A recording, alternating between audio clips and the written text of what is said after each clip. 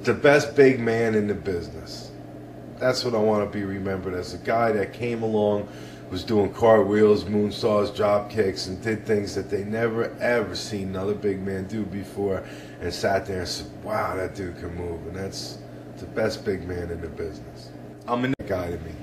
I was Bam Bam Bigelow. I was the, the, the beast from the east, the master of disaster, the man that put the word crunch in captain. But um, I, I, came out to the ring and uh, my outfit was all flames. Uh, my head's tattooed in a ball of fire.